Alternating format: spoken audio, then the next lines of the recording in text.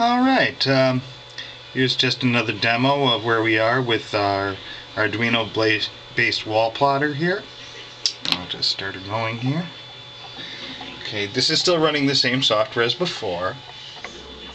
Um, what I've done is I've moved it a bit. I've taken and mounted the stepper motors onto a piece of scrap wood. The motors are mounted 48 inches apart and now the lines go over some uh, little hooks, eyelet hooks, just to take some of the bounce off of the motors on the tension.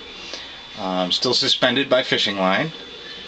I've made this little uh, carriage, I guess you could call it, out of a piece of scrap aluminum from the frame of one of the printers. Um, there's just a double A battery hanging on there for uh, weight.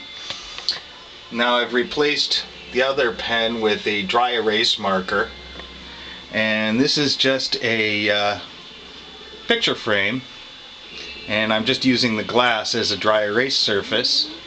It's uh, quite smooth so it works quite well with the dry erase marker. And uh, as you can see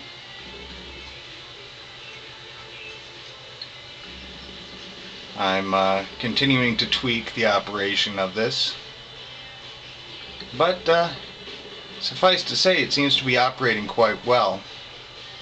I'm still using my homemade stepper motor controller just made from some transistors and some diodes and some resistors. Uh, some salvaged cat 5 cable for wiring. And uh, my Arduino a few jumpers and uh, that's about it. So this is where we are now